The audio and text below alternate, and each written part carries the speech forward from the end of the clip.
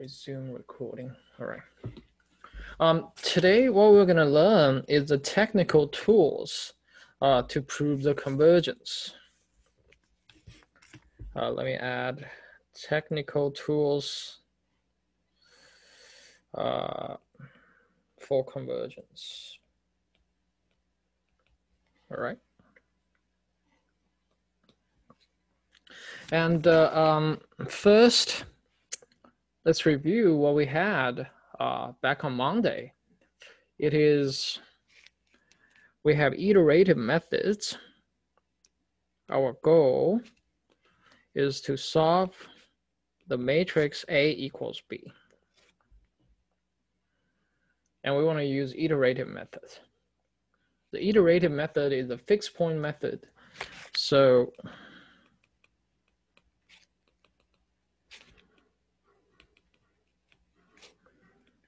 Our next iterate is computed by an affine transformation. And T is just another matrix.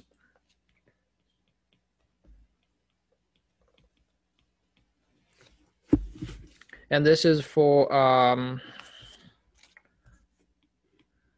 for k is 0, 1, and 2, etc. Um,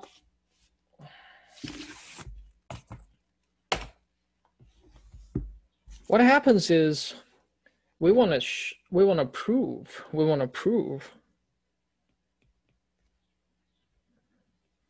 this one converges to x star um, let me first put a quotation mark here in some sense because we have a vector, we don't have a number. For number, it's very straightforward. It's just um, we take the difference. If the difference goes to zero, then we're happy.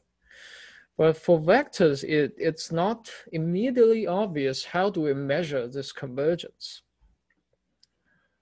So let's put in some uh, in, in, in, in some sense here. Okay. And what we want to do is we introduce some technical tools to make sense of this convergence. This is uh, what we're going to do today. And by the way, um, for um, this x star is the fixed point of uh,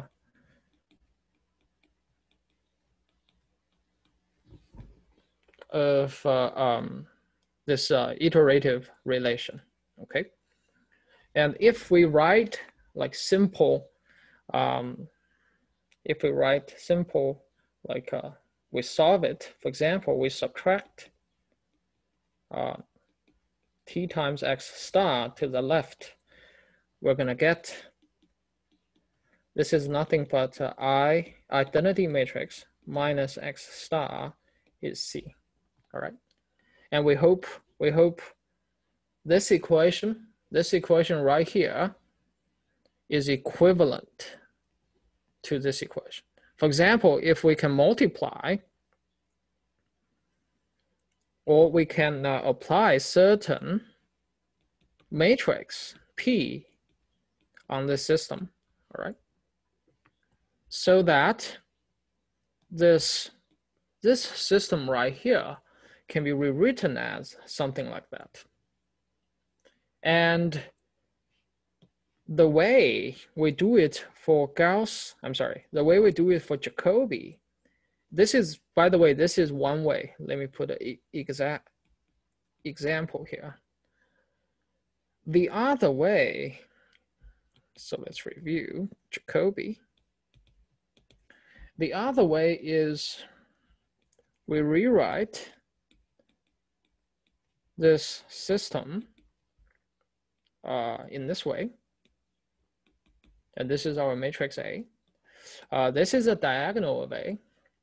This is the lower part of A, and minus U is a upper triangular part, strictly of A. And then we can rewrite this as d of x is L plus U of x plus B. And then if D is invertible,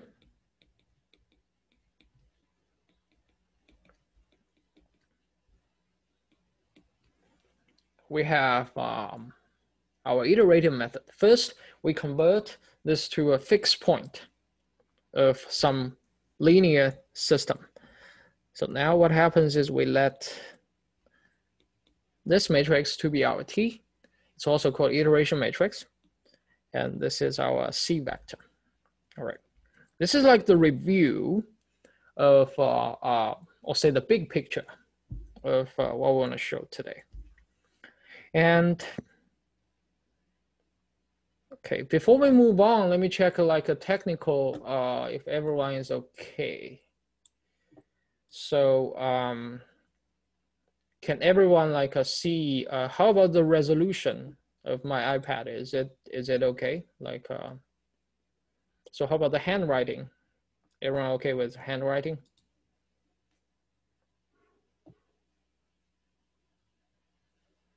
All right. If no questions, I'll move on. Um, convergence.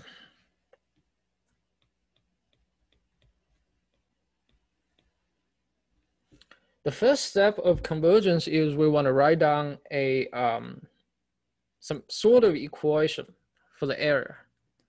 For example, we know that um, x star, which is a fixed point, also the true solution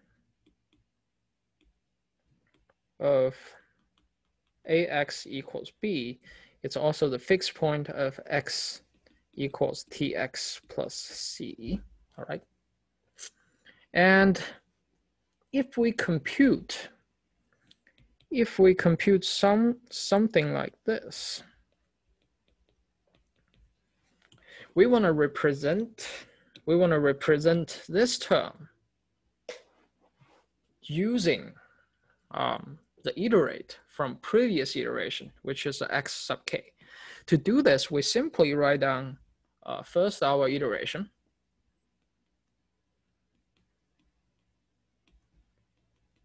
All right. Uh, this is nothing but uh, our iteration. This is by the definition of our iteration. Then we make use of uh, x star is our fixed point.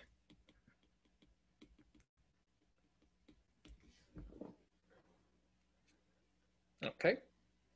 If we do this, we'll see why we're talking about uh, P as some iteration matrix because it controls how the error propagates through the iterations because this C term, when we do the subtraction, it will cancel. And uh, we have this is T times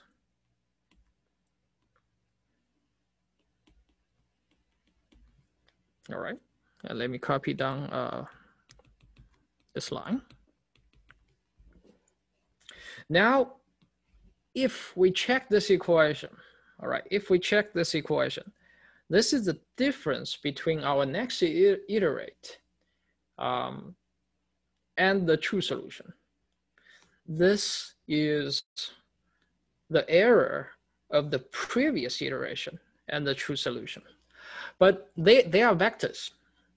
And what we want to do is somehow we want the error measured in some, some way um, is smaller and smaller after we apply um, this t. And this is our hope. Let me write down this hope here. What we hope is this matrix, matrix T, uh, this T is a contraction mapping we haven't learned contraction mapping for vector yet, so we, we will do that in, in a moment, but uh, we hope uh, T is a contraction mapping for vectors.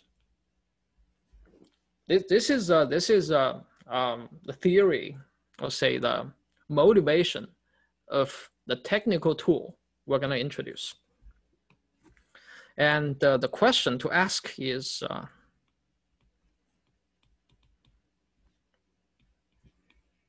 questions to ask is um, how do we define contractions for matrices?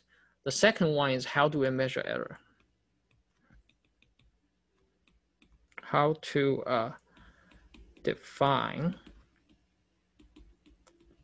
the concept of contraction for uh, matrices. Uh, let me let me rewrite this.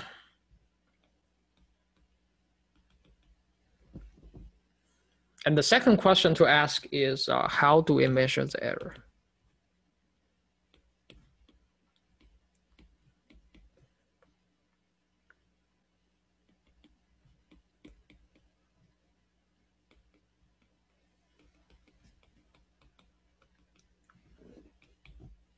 All right, let's answer the second question first.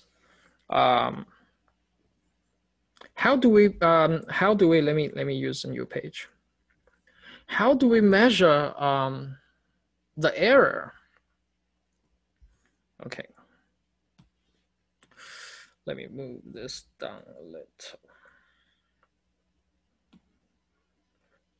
Um, how do we measure the error is called, we introduce something called norm.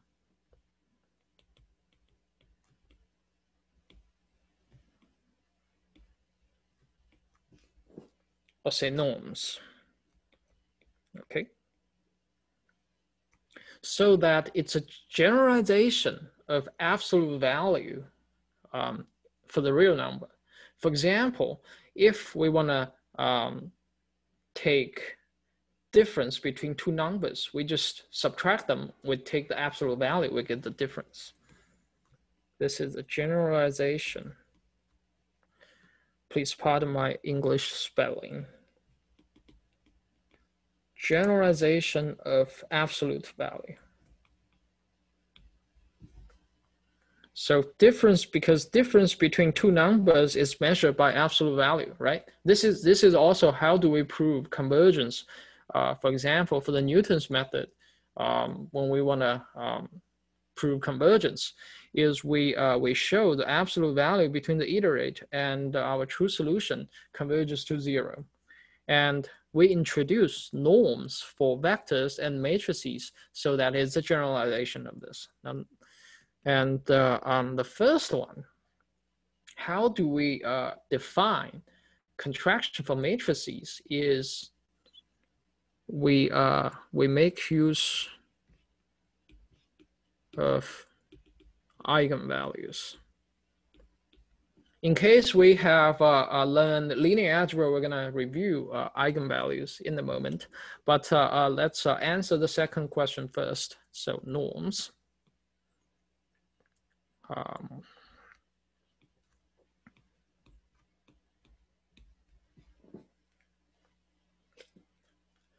Um, norms are like a definition is quite uh, um, tedious, but uh, let me directly write down the definition. Um, or say the most commonly used norm we're gonna we're gonna uh, use in our class. It's the first one is called L uh, two norm. It's little L two norm. of a vector x. And we write it as uh, a double vertical line of x. Um, I mean, if you guys have learned vector calculus, like the third calculus in the calculus theories, um, I believe you have already seen this notation. For example, if we want to compute the length of a 3D vector, and uh, we use uh, this notation. And in general, if x is in Rn, um, this is uh, defined by, we take the square root and we sum up all the entries of x. We take square first, and then we, uh, we take uh, square root. All right. And and by the way, um, let me let me move this uh, here.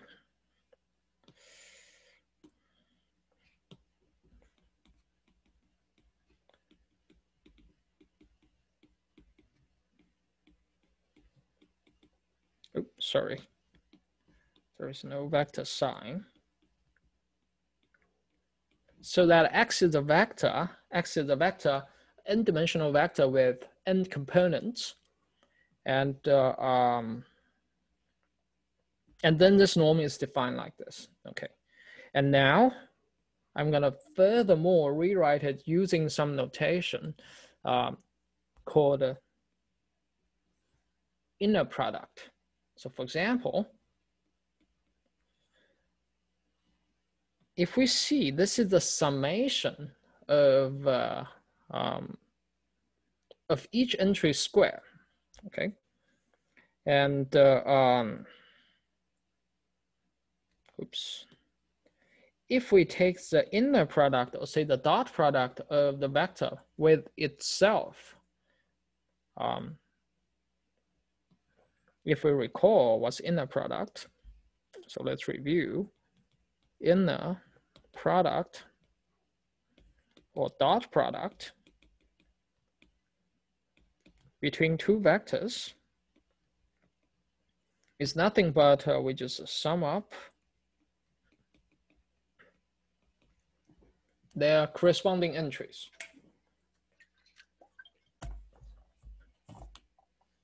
What happens is, uh, um, for example, uh, notation-wise,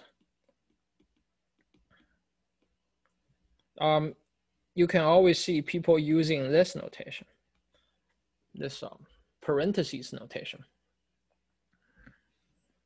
So um, this uh, parentheses x comma uh, x parentheses is uh, like uh, defined as an inner product. Or say uh, some, so sometimes we all we we write in this way. Okay. And um, for L2 for L2 norm we normally put a 2 here if we don't put any anything there, it by default, it's a L2 norm, okay? So normally,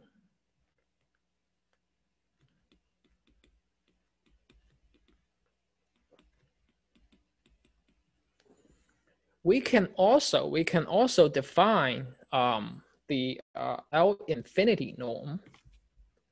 This is L2 norm. Let me put a number here.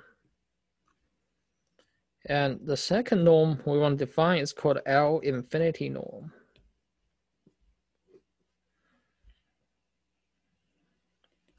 The L infinity norm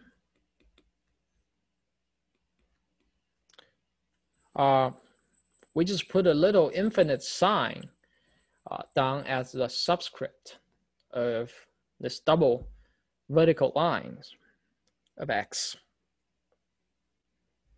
And this is defined by, the definition is straightforward as well. We just define um, the, this is a maximum of the entries uh, among all the entries. So it is, uh, oops, it's not vect. For example, Let's uh, consider a very simple example here.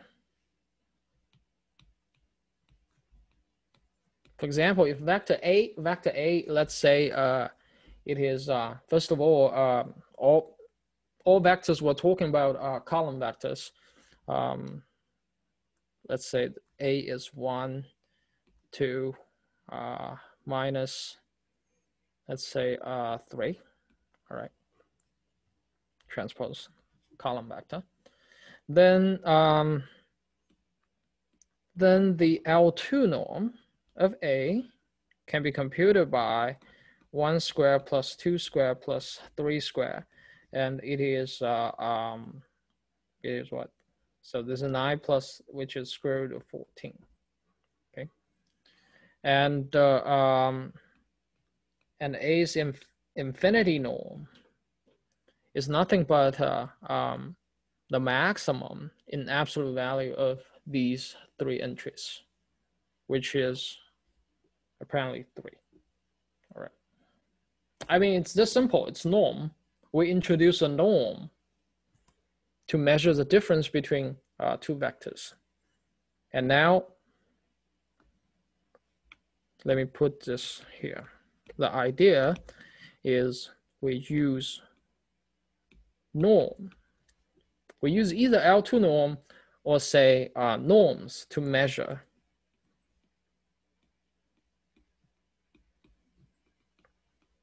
the difference.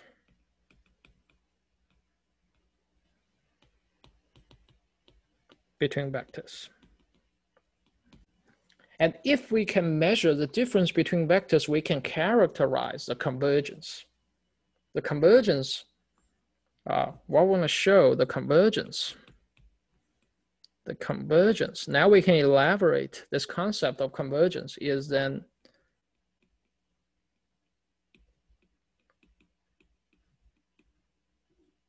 So this is either like two or infinite, or we can even have other norms, goes to zero as k goes to infinity. Because this is the number, okay? Let me put, this one is that after we taking a norm, it's a number, it's a real number, and we, we can like uh, rationalize what does it mean by convergence because for vector we have so many components what, what does it mean by convergence? What if one component converges uh, but the other like uh, does not? Okay. So and after um, we introduce the norm we can safely talk about the convergence because we just measure it on the norm all right um, this is a norm for vectors uh, we can also have the norm for matrix.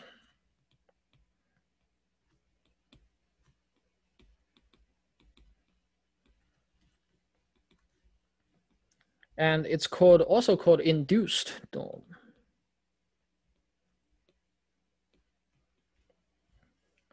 The matrix norm is, uh, um, I would say it, it's not uh, that obvious. Okay. The matrix norm is defined by the following. For example, the matrix norm is, for example, ACE2 norm is defined by the supremum for X2 norm is one so that uh, AX, the two norm divided by X's two norm sorry, th this should not be x equals one. This should be x two norm is not zero, okay?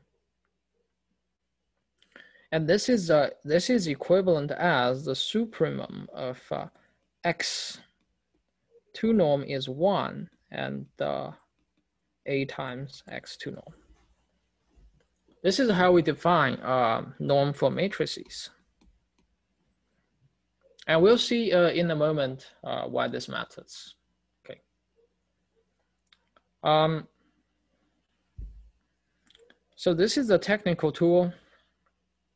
Um, we want to define uh, to characterize the convergence is through the norms. And uh, um, and the other the other tool we want to introduce is how do we uh, make use of a um, the eigenvalues of the matrix to define uh, contraction. If we take a step back, we look at um, this relation. This is like the next, uh, the difference between the next iter iterate and our solution. This is the difference of the previous iterate with our solution. But right now, if we exploit this relation once again, we'll have this is nothing but uh, um, t square uh, x sub k minus 1 subtract x star and we can we can exploit we can exploit uh, this iteration like m plus one times. And let me write down. So by star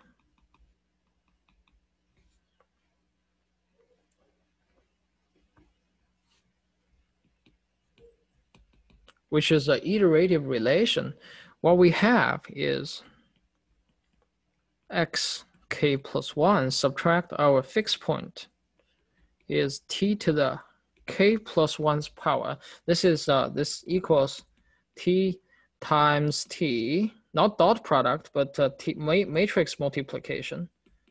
Uh, like a k plus 1 copies of t uh, multiply with each other. And x 0, subtract x star. And um, this one, this x 0 is our initial guess uh, for the vector, for, the, for our solution, okay? Now, we take we take uh, uh, we take norms on both side, which is uh, we take norms on both side. Uh, let me let me use this k. Okay, so uh, it's uh, so it's uh, um, the notation is less cluttered. Okay, so this is k, and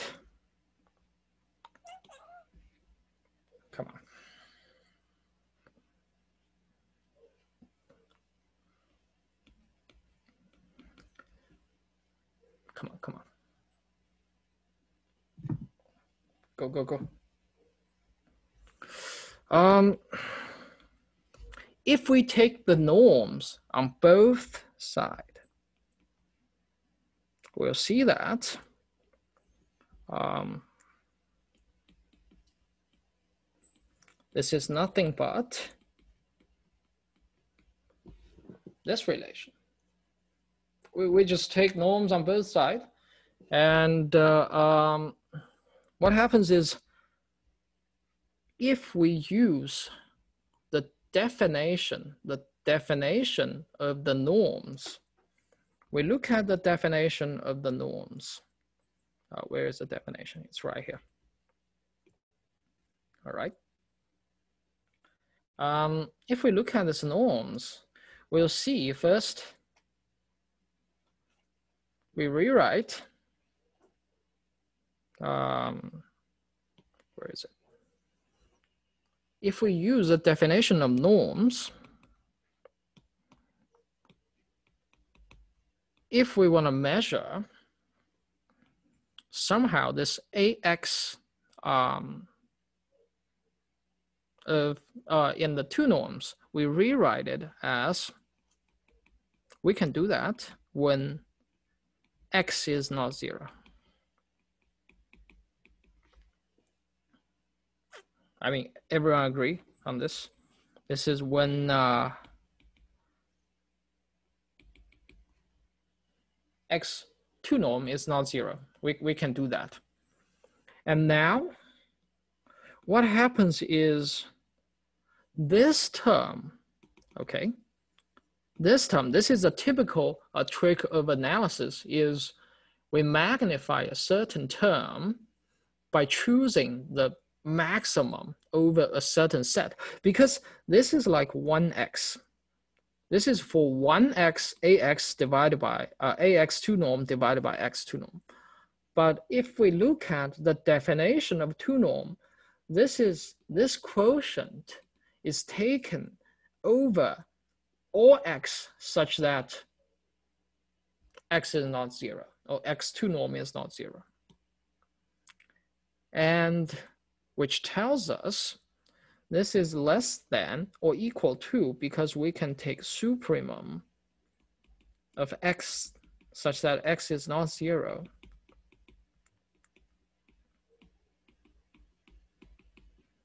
And we keep this x unchanged we magnify one term, but we keep the other term unchanged. I mean, this is a key step. If everyone okay with this, um, then we're good. So um, So any questions on this? This is like taking a leap of faith. And this is uh, a trick we're gonna use for our homework and also other uh, various things. Okay, and now we just use the definition two norm. This is uh, the matrix A's two norm times X's two norm. All right. And now we apply this trick. Now we apply this trick back here in this equation. And uh, it tells it tells us it tells us um, it tells us what it tells us x the case iteration subtract uh, our solution two norm is less than or equal to t to the kth power two norm times our initial guess.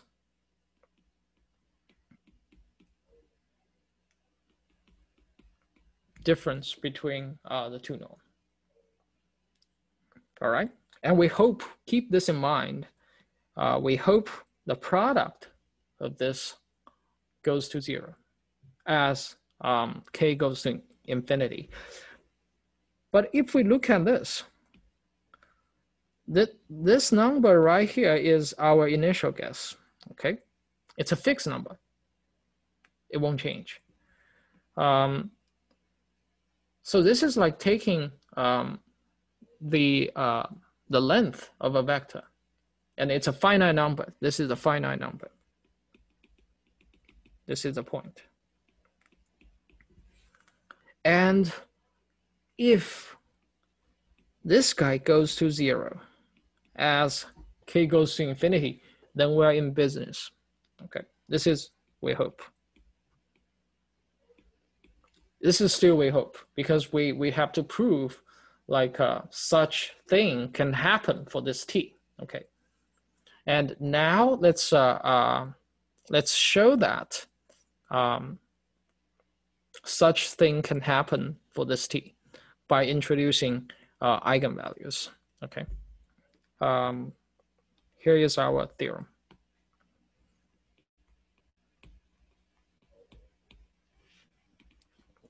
The theorem says the following. Uh, its theorem says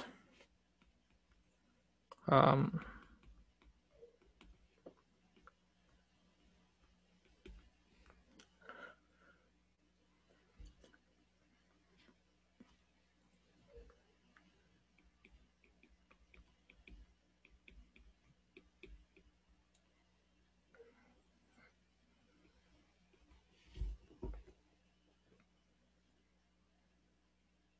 So um, the theorem says the following.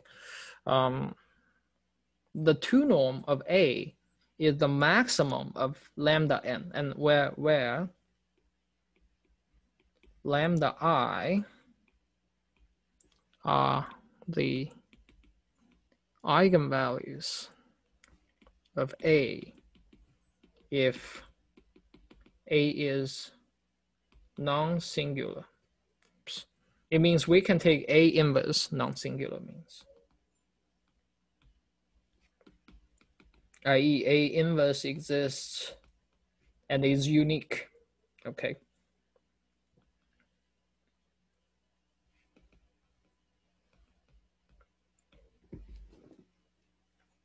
And this is how we characterize uh, the two norm is through eigenvalues. Um, and we have we have a we have a name for this. Okay. And uh, um okay let me let me move this let me move this uh, here. Uh,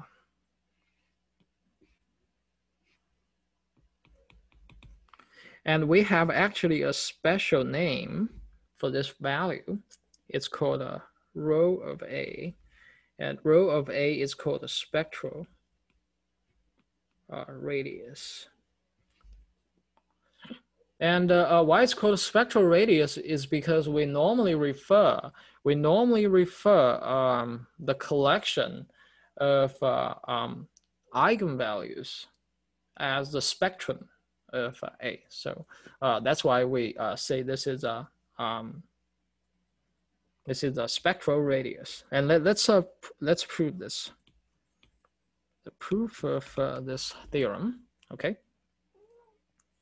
The proof of this theorem is uh, kind of straightforward, but uh, uh, let's review uh, of eigenvalue first. Review of eigenvalue.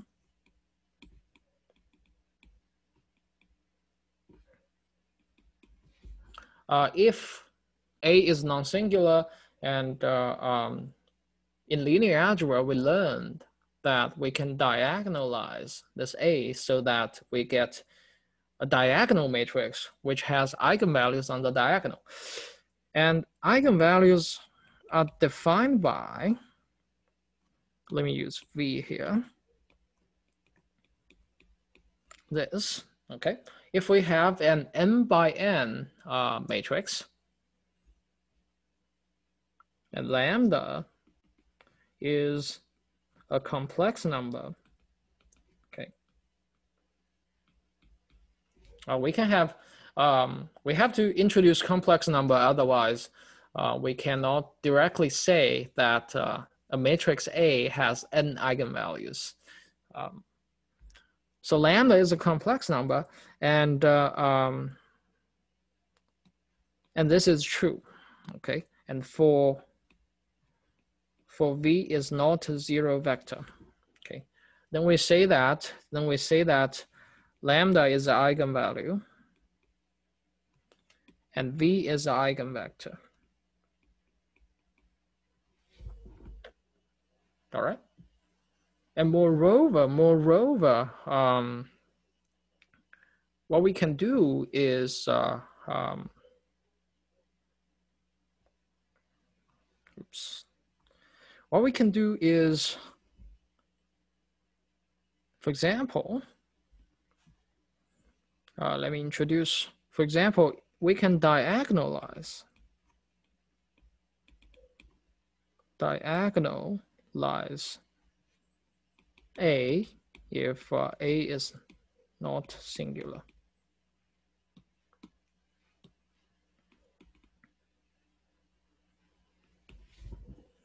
And in that, there exist two, there exist um, P matrix such that we can do Gram-Schmidt to make it an orthonormal matrix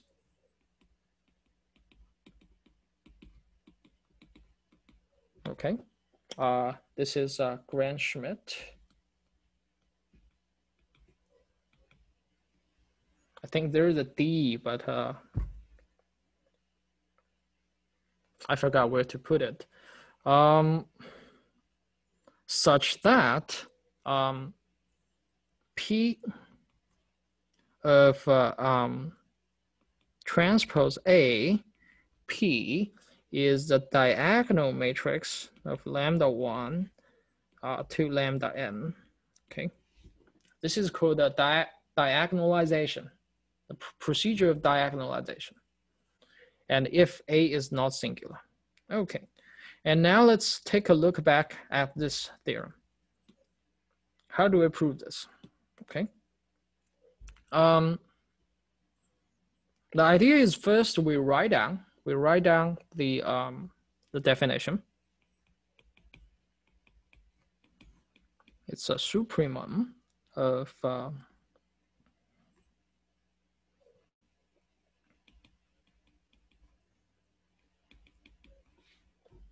x2 norm is not zero. And we have this quotient, all right? We have this quotient we have this quotient right here. Um, but instead of taking the quotient, we're gonna do taking the quotient square, then we take square root. Okay, and you guys will see in a moment why this is uh, this is kind of good. It is uh, we take the um, square of each norm. Then we take the square norm, uh, square root outside. But then, but then what happens is we can rewrite the top one as an inner product, okay?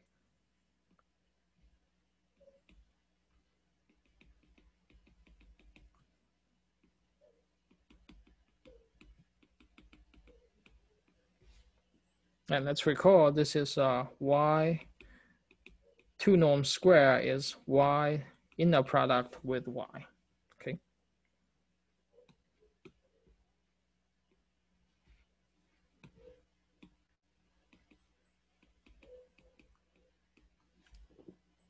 And moreover, if we use this trick, if we use this trick, uh, we can show, uh, by the way, so let me show it here. This dot product or inner product is nothing but AX transpose. Uh, if we have a column vector, that's right, transpose AX okay? And this is also, we take A transpose A right here. Oops. We take A transpose A, then we are doing vector multiplication with those two vectors, okay? Now we're in business. Okay, why what I'm saying we're in business is we can now use the idea of a diagonalization for we apply, okay, we apply, we apply the diagonal um, diagonalization of uh, um, of uh, the matrix on A transpose A, okay? And what, what that happens is um, it's the same thing. Then it is the same thing as A transpose A is um, the idea of uh, there exists a P transpose times a diagonal matrix. Uh, let me call it uh, uh, M and uh, um, P? And this diagonal matrix is nothing but uh, actually the square of the eigenvalues. Okay, and uh, let me put this aside. And then what happens is X transpose, um, A transpose AX now becomes um, X transpose P transpose MPX. All right. And we can further rewrite this as uh, we can further rewrite this as uh, um, P transpose um, M and P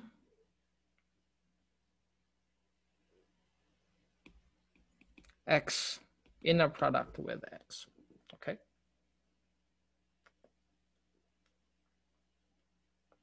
And what happens here is because P is a unitary matrix, now because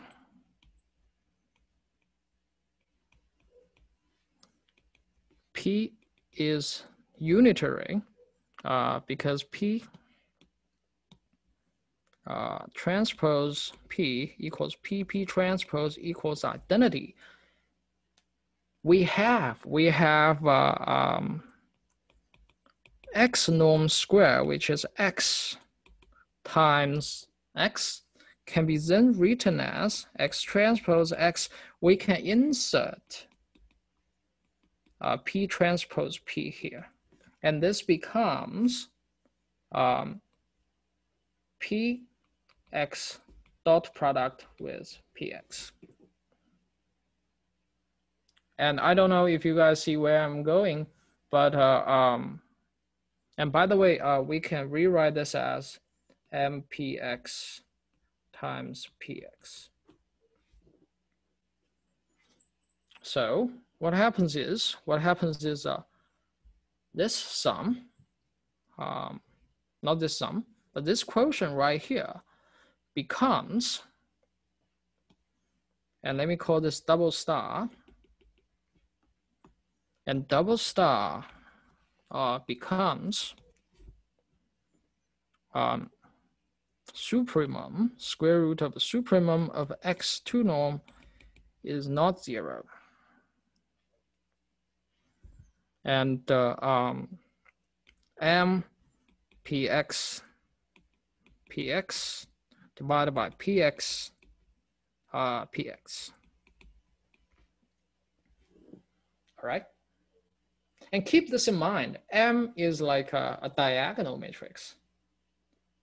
And we can rewrite this by using Y, because if X2 norm is not zero, um, we can say um, if X2 norm is not zero, then uh, P times X2 norm should not be zero. And we let Y equals, let another vector Y equals px. So what we have here is this is y2 norm is not zero. And this is y inner product with y. And this is uh, uh, m y times y. And keep this in mind, keep this in mind, M is a diagonal matrix. If M is a diagonal matrix, this becomes um, supremum of y, and let me use a new page. And this becomes supremum of y, 2 norm is not zero, because y is a, I'm sorry, m is a diagonal matrix, m equals lambda 1 square to lambda n square. Uh, and if we expand everything, this makes my equals um, lambda 1 square y1 and lambda n square yn. And now my dot with y is nothing but the sum of lambda i square yi square i from 1 to n and the denominator is just uh, the inner product.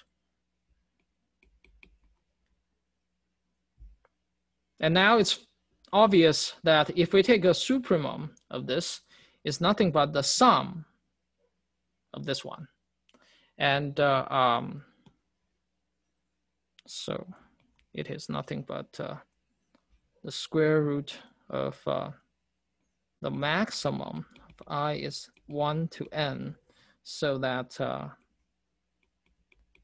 lambda i square. And we're done. This is the maximum of I, eigenvalue. It equals the maximum of lambda i, i from 1 to n. So what happens is we want to use this maximum eigenvalue to characterize the convergence. What we want to do is we want to show if the maximum eigenvalue is less than one, uh, our method converges. Okay. So um, that's it for today. And on Wednesday, uh, we'll continue to show um, like the continuation, which is uh, if the maximum eigenvalue is less than one, then our iterative method converges. All right, so that's it for today.